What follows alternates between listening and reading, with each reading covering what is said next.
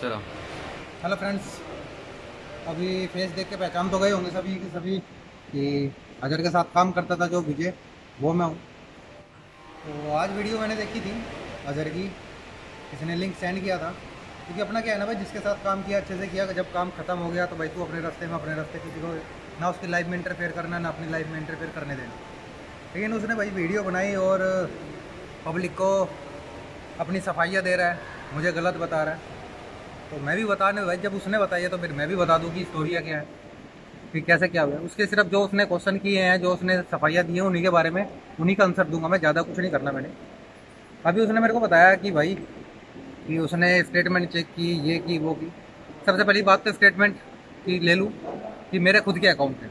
और ऐसा नहीं है कि भाई मेरे अकाउंट में सिर्फ़ एक बंदे को मैं पेमेंट दे रहा हूँ। वो मेरा एहसान है भाई कि मैं अपने अकाउंट यूज़ करने के लिए दे रहा हूँ चल भाई, कोई बात नहीं, मेरे पे अकाउंट में पैसा आ रहा है, तुझे निकाल के दे देता हूँ। भाई, मेरे खुद की भी पेमेंट है, मेरा खुद का भी काम है।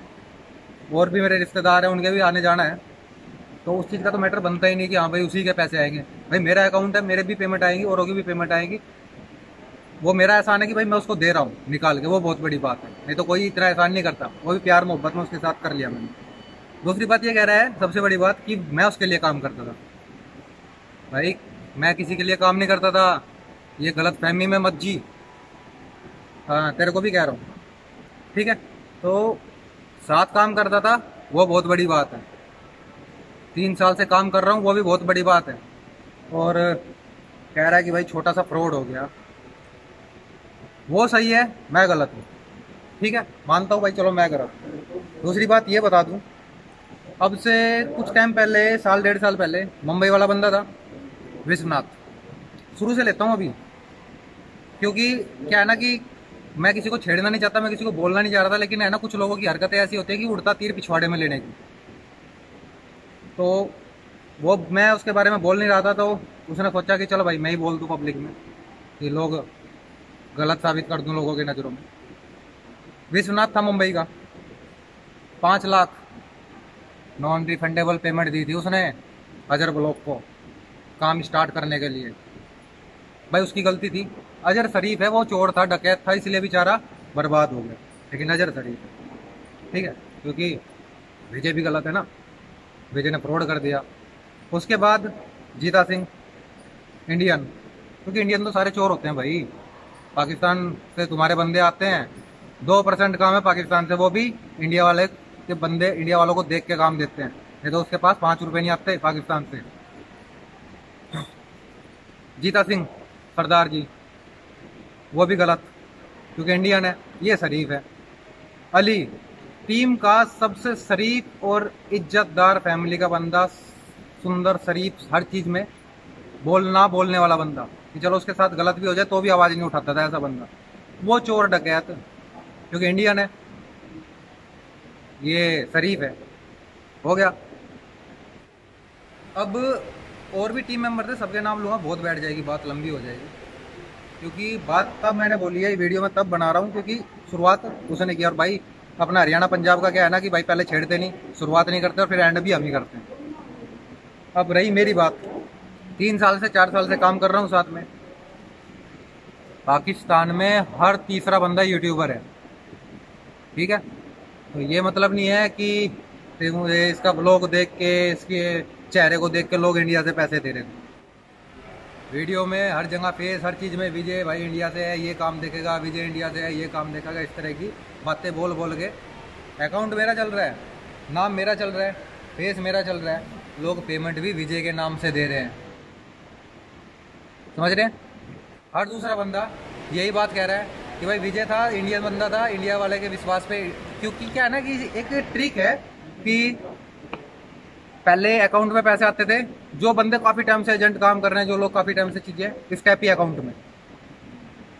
ठीक है? स्टैपी वाला बंदा अकाउंट में उसमें पैसे आते थे, सभी के सभी, कुछ लोगों की पेमेंट आई हुई, कुछ का काम नहीं हुआ, उनको पता भी है स्टैपी में पेमेंट आई थी।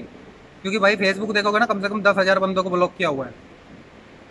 तो मैं ये नहीं चाहता पूरी बात खोल दूँ, क्योंकि मैं पूरी बात खोल दी ना, हाथ में कटोरा आ जाएगा, रात में कटोरा खा के भीख मांगेंगे ना तो पाँच रुपये चिल्लर नहीं आएगी इंडिया से।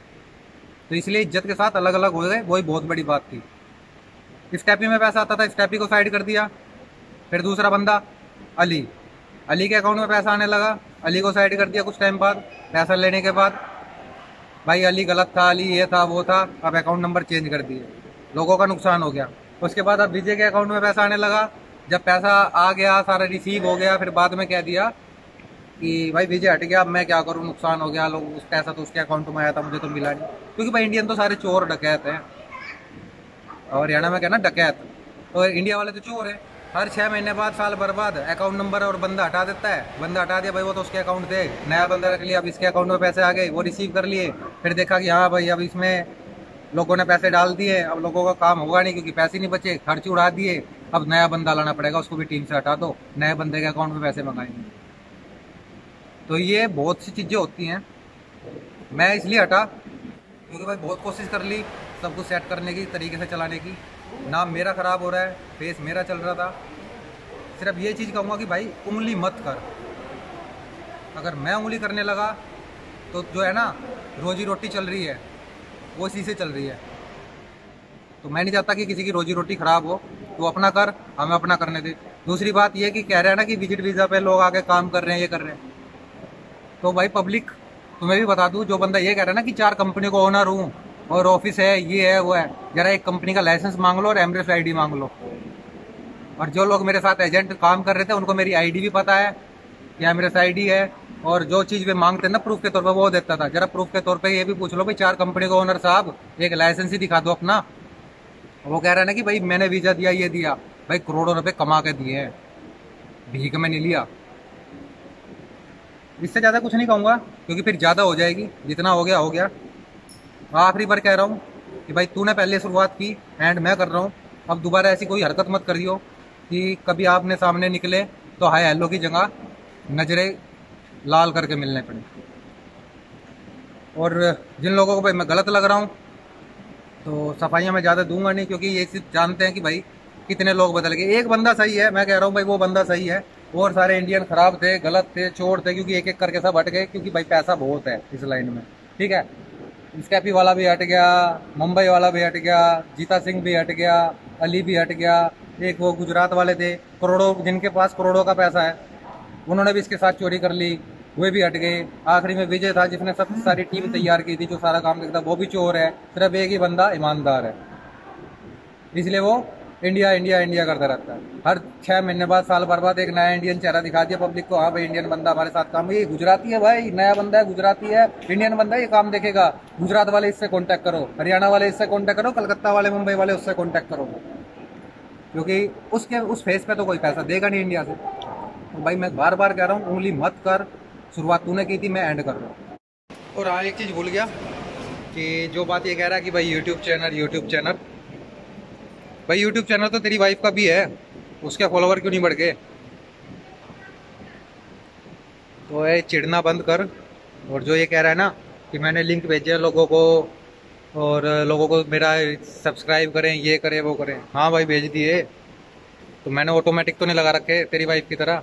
तूने तो तेरी वाइफ ने तो ऑटोमेटिक लगा रखा है कि भाई, कोई हाई भी करेगा तो उसको भी व्हाट्सएप का यूट्यूब का लिंक जाएगा। तो बहुत सी चीज़ तूने वीडियो में गलत कही है। पर्सनल में मत घुस। अलग होना है, तरीके से अलग हो जा। पब्लिक को ये मत बोल कि भाई मैंने गलत किया है या तू शरीफ है या कौन शरीफ है। ये रख कि भाई तुझे भी इस लाइन में रहना है, मैं भी इस लाइन में काम कर रहा हूँ। ऐसा ना हो कि कल की डेट में मुझे सब पता है, बस। ऐसा ना हो जाए कि जो कमेंट्स और लाइक आ रहे हैं ना, वो डिसलाइक में पहुँच जाए। क्योंकि मैं वही हूँ जब रात को 11 बजे मैसेज आके करता था कि भाई रेंट देना है। भेजे काम करो यार पेमेंट मंगाओ इंडिया से। क्योंकि पाकिस्तान में तो भाई अकाउंट में, घर के पे अकाउंट में पैसे आते हैं। वहाँ कोई प्रॉब्लम होगी तो भाई के पास पहुँच जाएँगे, घर पहुँच जाएँगे लोग। इंडिया में जब चोरों का और डकैतों का एरिया है, फ्रॉडियों का है तो इंडिया से पेमेंट आके तो क्या उखड़ जाएगा? और ज़्यादा से ज़्यादा कहाँ जाके खड़े हो जाएँगे? पाकिस्तान एम्बेसी के थोड़ी पास जाके खड़े होंगे। हाँ भाई, क्यों? बस उंगली मत कर, क्योंकि दूसरे बंदे उंगली करने पे आ गए, हालत ख़राब हो जाएगी।